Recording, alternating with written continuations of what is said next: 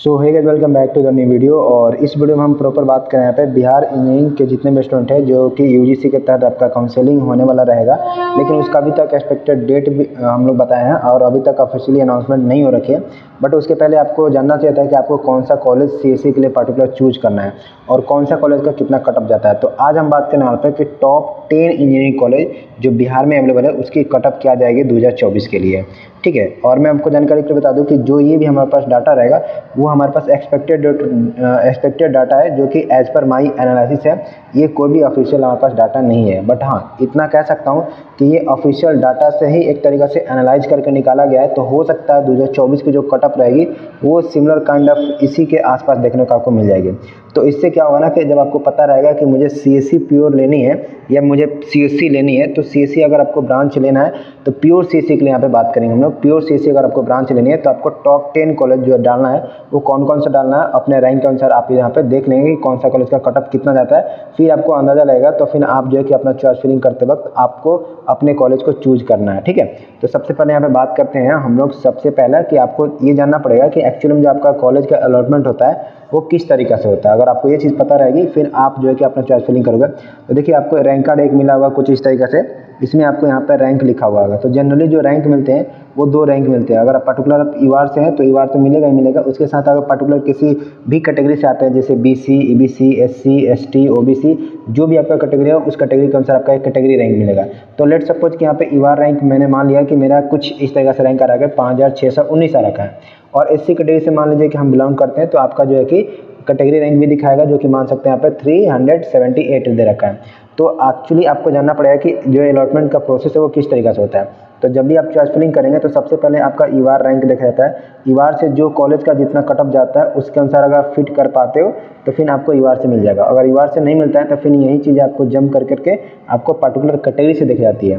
अगर कैटेगरी से वहाँ पे आप एडजस्ट कर पाते हो, फिर आपको कॉलेज वो दे दिया जाता है। अगर मान लीजिए कि ना ही कैटेगरी से हम फिट कर पाएँ और ना ही से कर पाएँ तो इन दोनों को इसको हटा करके अगर नहीं फिट कर पाते तो फिर आपके पास ये वन नंबर पर जो कॉलेज चूज़ करेंगे, वो इन दोनों कैटेगरी से हटा दिया जाएगा। फिर जो सेकंड नंबर पे आप कॉलेज को चूज़ करोगे ना सेकंड नंबर पर जो कॉलेज को आप चूज़ करोगे, वो सेकंड नंबर कॉलेज के लिए आपको देखा जाएगा। तो हर कॉलेज का जो कटअप जाएगा, वो अलग अलग जाएगा और अलग अलग तरीक़ा से उनको चीज़ें डिस्कस की जाएगी। तो वो चीज़ आपको देखना पड़ेगा कि कौन सा कॉलेज का पर्टिकुलर सी के लिए कितना कटअप जाने वाला रहेगा। तो पर्टिकुलर हम यहाँ पर बात करेंगे कि एक्चुअली हम बात करें यहाँ पर केवल और केवल सी के लिए बात करेंगे कि जो टॉप टेन कॉलेजेज हैं, उनकी कटअप क्या जाने वाला रहेगी।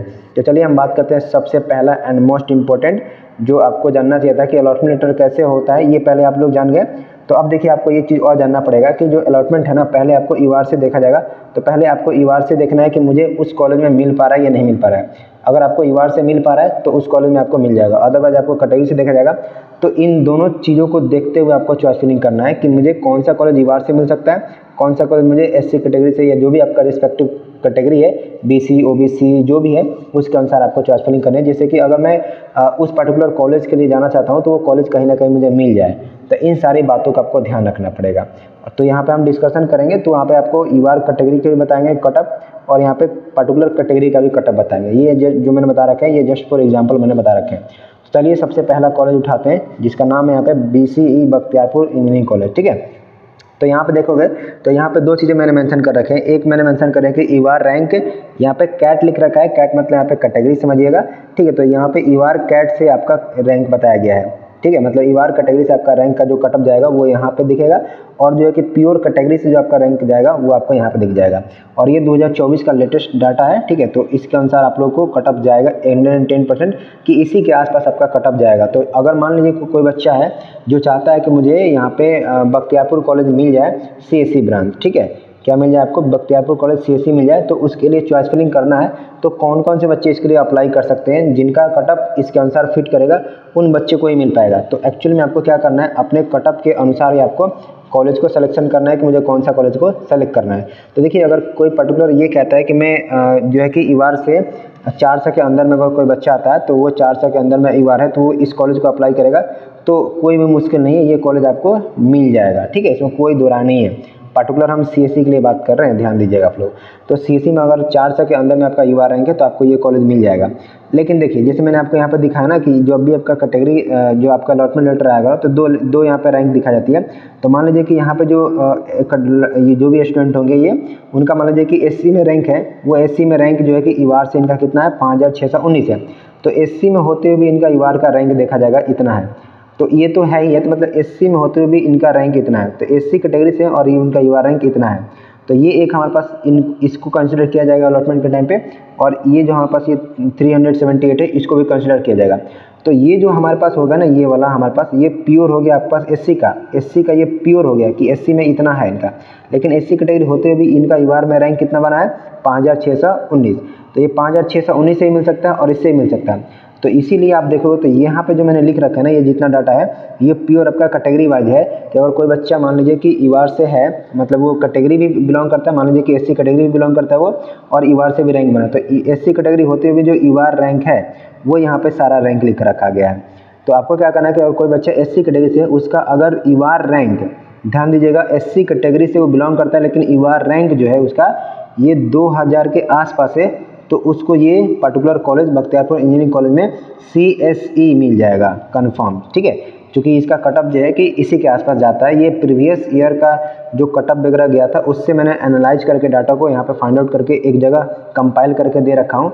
तो इसके अनुसार लगभग लगभग आपको तय है कि अगर कोई एस सी कच्चा है एस सी कैटेगरी का बच्चा उसका 2000 तक भी अगर रैंक है ईवार में ठीक है, और वो एस सी कैटेगरी से बिलोंग करता है तो इसको कहीं ना कहीं यहाँ पे ईवार से ही इसको मिल जाएगा, बख्तियारपुर कॉलेज वो भी सी एस सी ब्रांच मिल जाएगा। तो इस तरीके से आपका अलॉटमेंट है। अगर कोई बच्चा एस टी कैटेगरी से अगर उसका भी रैंक 2000 तक में है तो इसको भी मिल जाएगा यहाँ पे, जो कि बख्तियारपुर कॉलेज मिल जाएगा। अगर कोई बच्चा बी से है तो बीसी में देखिए क्या है ना कि रिजर्वेशन थोड़ा कम रहती है, और रिजर्वेशन कम रहती है और कंपटीशन ज़्यादा रहता है, इसीलिए आप देखोगे तो कोई कोई बच्चा अगर ईवार से रैंक ला रखा है 350 के आसपास और वो पर्टिकुलर बी सी कैटेगरी से बिलोंग करता है तो उसको ये कॉलेज मिल जाएगी। 350 तक ही उसका रैंक मैक्सिमम जा सकता है सी सी के लिए। ये बख्तियारपुर कॉलेज की हम पर्टिकुलर बात करें तो। इसी तरीके से अगर ई बी सी का कोई बच्चा है, जो ई बी सी कैटेगरी रखता है, लेकिन ईवार रैंक उसका चार सौ पचास के आसपास है पाँच सौ भी होगा तो चलेगा, लेकिन चार सौ पचास के आसपास ही रहना चाहिए, ज़्यादा आसपास भी नहीं मतलब दस, पंद्रह, बीस, पचास तक बढ़ सकते हैं हम लोग ऊपर नीचे, लेकिन लगभग लगभग इसी के आसपास रहेगा तो उसको ये पर्टिकुलर कॉलेज जो है कि सी के लिए अलॉट किया जा सकता है।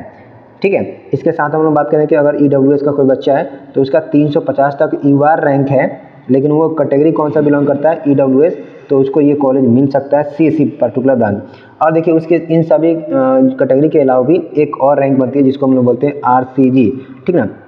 गर्ल्स रिजर्वेशन कैटेगरी जो होती है, उसके बात करें तो अगर कोई भी गर्ल्स कैटेगरी है, जिनका यहाँ पे रैंक बना हुआ आर सी से चार सौ तक बना हुआ है तो ये particular branch C S C वाला जो ब्रांच है सी एस सी अगर लेना चाहेंगे, बख्तियारपुर कॉलेज में तो उनको आराम से मिल जाएगा, अगर चार सौ रैंक के अंदर में उनका रैंक है पर्टिकुलर आर सी जी से तब तब उनको आसानी से मिल जाएगा। तो ये मैंने बात करें पर्टिकुलर एक यू आर मतलब कि अनरिजर्व से मैंने बात करें कि अनरिजर्व से अगर आप लोग हो गए तो आपको ये पर्टिकुलर कॉलेज इस रैंक के अनुसार आपको मिल जाएगा। ठीक है, लेकिन और कोई कहेगा कि मान लीजिए सर, मुझे पर्टिकुलर जो अलॉटमेंट होना है, वो इससे हो रहा है अलॉटमेंट इस वाला रैंक से अलॉटमेंट होना है तो फिर आपको इस वाला कटअप के अनुसार आपको देखना पड़ेगा, इस वाला कटअप के अनुसार, ठीक है? लेकिन अगर मान लीजिए कि कोई बच्चा है, वो मुझे चाहता है कि मुझे एक पर्टिकुलर कैटेगरी से मुझे कोई भी ब्रांच मिल जाए, या कोई जो कॉलेज में चाहता हूँ मुझे तो उसके लिए ये आपको रैंक देखना पड़ेगा। इस रैंक के अनुसार पर्टिकुलर बात करें तो इस रैंक का एक्चुअली मैंने नाम रखा है प्योर कैटेगरी वाइज रैंक ठीक है तो अगर देखिए प्योर कैटेगरी वाइज रैंक का मतलब ये हो गया कि आपको पर्टिकुलर उस कैटेगरी में, जिस कैटेगरी से आप बिलोंग करते हो, उस कैटेगरी में आपका कितना रैंक है। तो इसके लिए देखिए, यहाँ पे यूआर की कोई ज़रूरत नहीं पड़ेगी तो इसको मैंने क्रश कर रखा है। अगर एससी कैटेगरी से आप बिलोंग करते हो तो अगर एक सौ बीस रैंक तक आपका एससी में रैंक बना हुआ है तो आपको बख्तियारपुर कॉलेज में सीएससी मिल जाएगा। ठीक है, ये इस बात का ध्यान रखेंगे।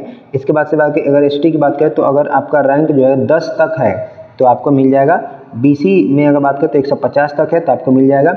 ईबीसी में बात करें तो 120 तक आपका रैंक है तो बख्तियारपुर कॉलेज में आपको सीएससी मिल जाएगा। इस बात का आप लोग ध्यान रख सकते हैं। ईबीसी में आपका रैंक मैं बता रहा हूँ। और इधर आप जो रैंक बता रखा था, ये यूआर से था। बट वो पर्टिकुलर किसी कैटेगरी से बिलोंग करते थे, तब का रैंक था। लेकिन इधर क्या है कि पर्टिकुलर उस कैटेगरी से आपको अलॉटमेंट हो सकती है, अगर इस टाइप से आपका रैंक रहा तो। यहाँ पे आर का रैंक नहीं बनता है तो इसको मैंने क्रॉस कर रखे ई डब्ल्यू से तो आपका हंड्रेड के अराउंड आपका रैंक है तो आपको ये कॉलेज बख्तियारपुर इंजीनियरिंग कॉलेज में आपको सी एस ई ब्रांच आपको इजिली मिल जाएगा। तो ये हो गया कटअप पर्टिकुलर सी के लिए यहाँ पे बख्तियारपुर इंजीनियरिंग कॉलेज का कटअप और ये जो मैंने कटअप बता रखे आपको दोनों साइड से बता रखे ईवार से भी बता रखे और पर्टिकुलर मैंने कैटेगरी से ही बता रखे तो ये कैटेगरी से और ईवार से दोनों से आपका अलॉटमेंट होता है। तो मैंने दोनों को कंसिडर कर रखा है और कैसे आपको देखना ये चीज़ मैंने आपको समझा दी है। तो उम्मीद करता हूँ कि आपका अलॉटमेंट कैसे होता है, ये पूरा प्रोसेस समझे होंगे आप। फिर अलॉटमेंट के टाइम पे कौन सा पर्टिकुलर कॉलेज का सीएससी के लिए पर्टिकुलर कितना रैंक का कटअप जा सकता है, ये आपको समझ में आ गया होगा। तो ये तो मैंने पहली बार बात किया था बी सी बख्तियारपुर का। इसी तरीके से मेरा टॉप कॉलेजेस की और भी बात करें तो यहाँ पर उसके बाद से जो कॉलेज आती है, वो भागलपुर कॉलेज आती है। देखिए, भागलपुर कॉलेज का कटअप जो है पर्टिकुलर सीएससी के लिए, वो काफ़ी हाई जाता है। पर्टिकुलर मैं यहाँ पे सी एस ई की बात कर रहा हूँ, ठीक है? सी एस सी के लिए। मैं स्पेशलाइजेशन फॉर्म में भी नहीं बात कर रहा हूँ, मैं proper C S C pure C S C की बात कर रहा हूँ। तो अगर प्योर सी एस सी आपको ब्रांच चाहिए, अगर आप यू आर से बिलोंग करते हो तो आपका यू आर में रैंक अगर अस्सी के आसपास है तो आपको ये कॉलेज मिल सकता है। अदरवाइज़ अगर आप एस सी कैटेगरी से आते हो तो पंद्रह से पचास तक भी आपका रैंक है। ध्यान दीजिएगा, पंद्रह से पचास तक भी रैंक है, लेकिन कौन सा वाला रैंक यू आर वाला रैंक लेकिन आप कैटेगरी भी रखते हो एस सी कैटेगरी तो आपको ये भागलपुर कॉलेज में यहाँ पे सी एस सी ब्रांच आपको मिल जाएगा।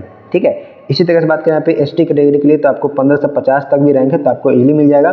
बीसी से बात करते हैं 140 चाहिए क्योंकि बीसी में रिजर्वेशन कम होती है, और एस सी में थोड़ा रिजर्वेशन ज़्यादा होती है, और इसमें बच्चे कम भी होते हैं पार्टिसिपेट करने वाले तो जिसकी वजह से इसकी कटअप जो है कि थोड़ा कम जाती है। लेकिन इसकी कटअप थोड़ा बहुत ज़्यादा जानती है, एक सौ चालीस हो गया ना, एक सौ चालीस के अंदर में आप बी सी रैंक में आपको हो तो फिर आपको मिल सकता है। अदरवाइज़ आपको मिलना मुश्किल लग रहेगा। ई e की बात करें तो देखो यहाँ पे 250 के अंदर में आपका रैंक है तो आपको ये कॉलेज मिल जाएगा C S C particular branch के लिए। सी एस सी ब्रांच के लिए आप लोग भागलपुर इंजीनियरिंग कॉलेज को चूज़ कर सकते हो अगर आपका आर रैंक जो कि 250 के अंदर में है अगर आप बी सी कैटेगरी से बिलोंग करते हो तो।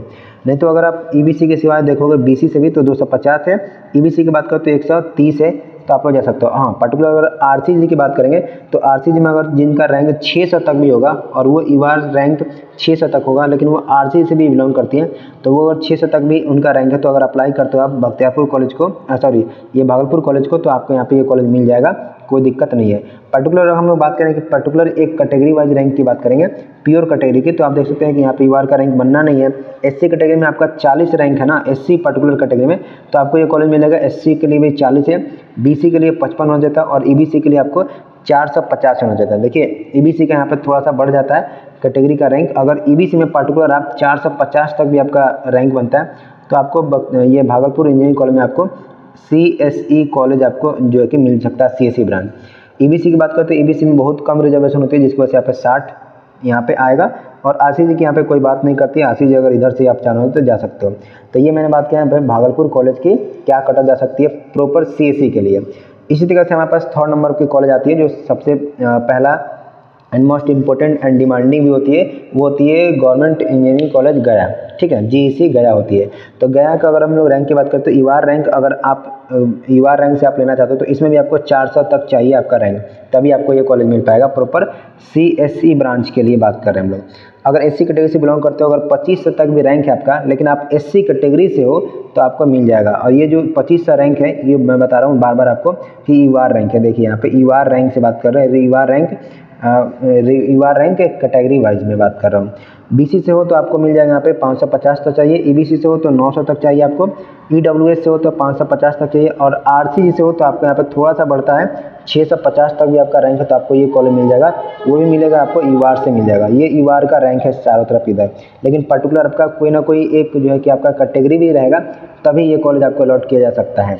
ठीक है? और ये डाटा काफ़ी हंड्रेड परसेंट जो है कि एकदम ओरिजिनल मान के भी चल सकते हो क्योंकि काफ़ी एनालिसिस के बाद ये चीज़ों को डिस्कस मैं आप लोगों के साथ कर रहा हूँ।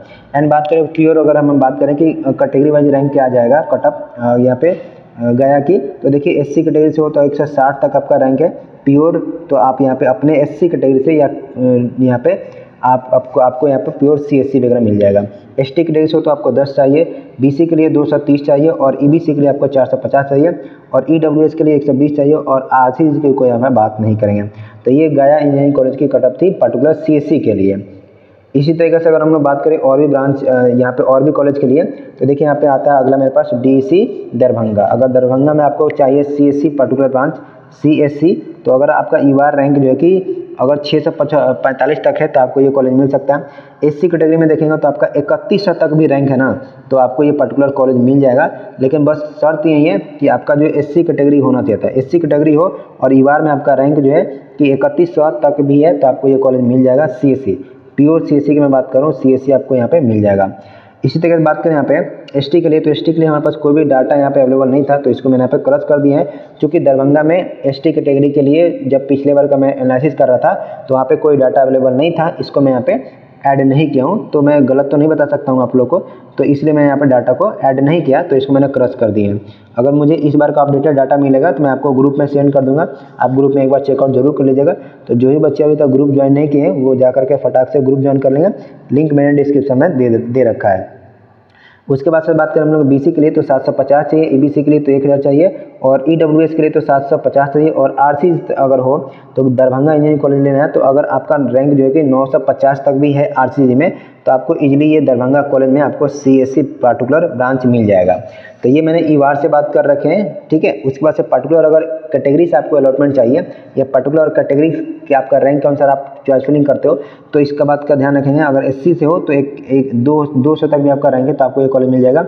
एसटी से हो तो यहाँ पर डाटा मिला नहीं, मैंने पहले बता दिया। बी से अगर हो तो आपको तीन सौ तीस तक चाहिए ही चाहिए। ई से हो तो दो सौ पचास तक चाहिए। ईडब्ल्यूएस के साथ आप यहाँ पे ई डब्ल्यू एस से हो तो एक सौ पैंसठ चाहिए। और ई e से हो तो 250 चाहिए और आर सी जी की यहाँ पर बात नहीं कर रहे हैं। आर सी ऑलरेडी हम लोग इधर कवर कर चुके हैं।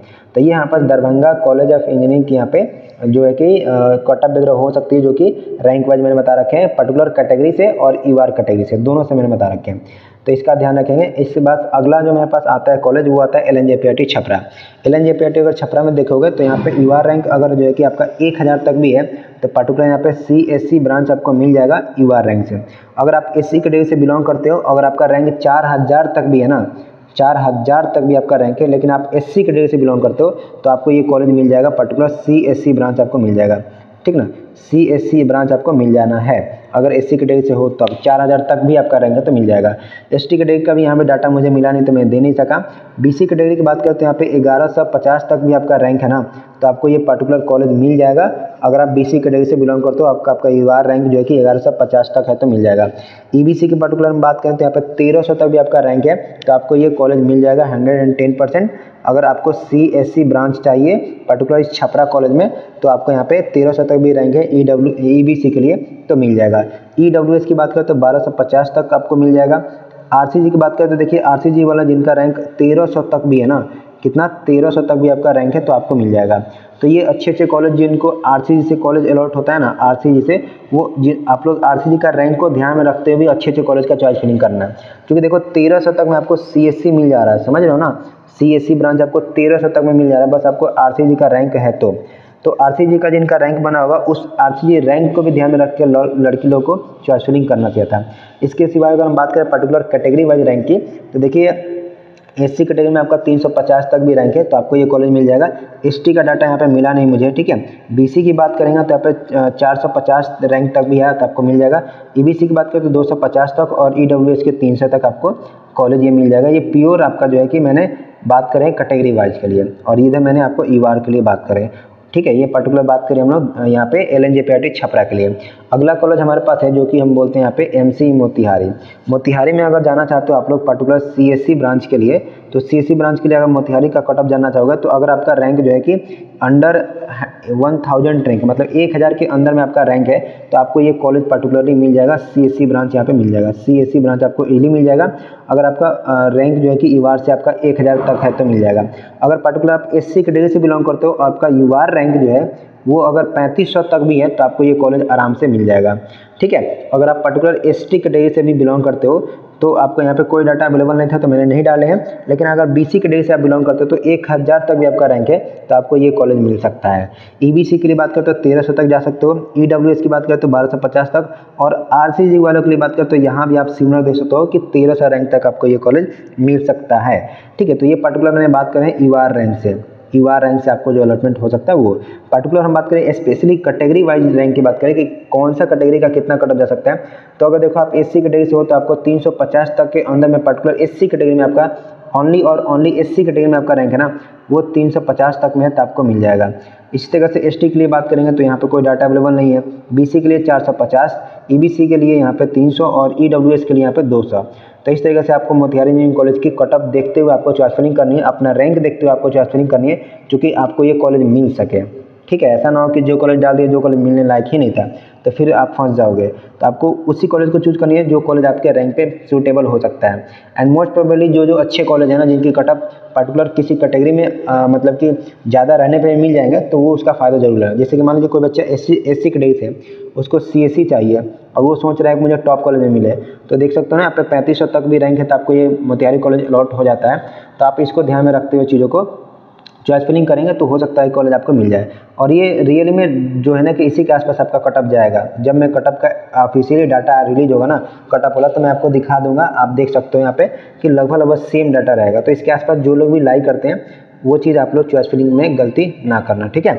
इसके सिवा अगर हम लोग बात करेंगे यहाँ पे कि हम लोग यहाँ पे बात करेंगे कि अगर देखें हम लोग एम जो कि मुजफ्फरपुर इंस्टीट्यूट ऑफ़ टेक्नोलॉजी है, इसमें पर्टिकुलर बात करें तो यहाँ पे आईटी ब्रांच मिलेगा आपको।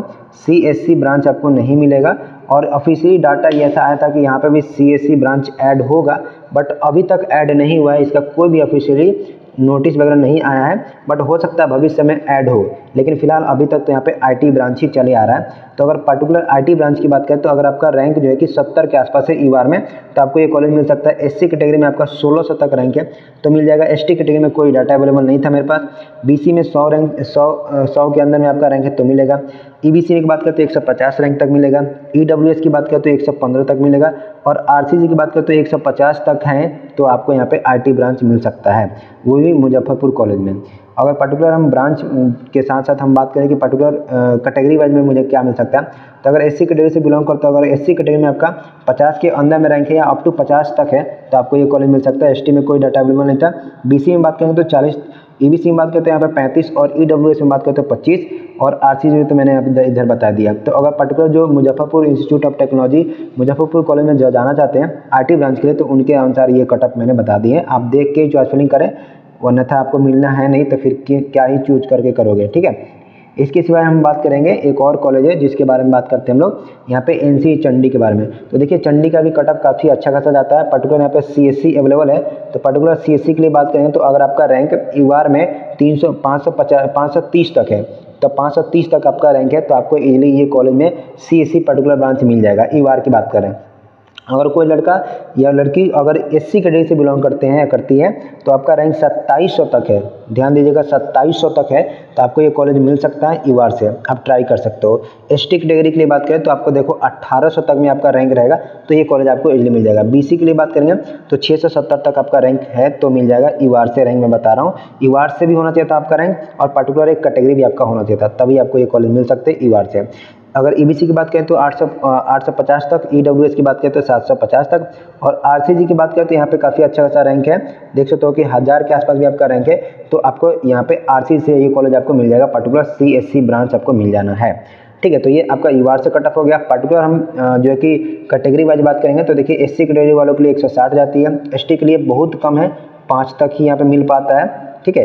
अगर बी सी के लिए बात करते हैं, दो सौ अस्सी तक मिल सकती है। E W E B C की बात करते हैं, यहाँ पर दो सौ तक मिल सकती है। और ई डब्ल्यू एस की बात करते हैं, एक सौ पचास तक मिल सकती है।